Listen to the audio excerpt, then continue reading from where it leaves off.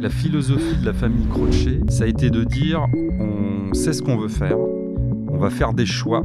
Si on veut le faire, c'est pour faire bien et en être fier. Terre de café, Delonghi et Brita présentent à l'origine les voyages de Christophe Servel à la recherche des plus beaux cafés.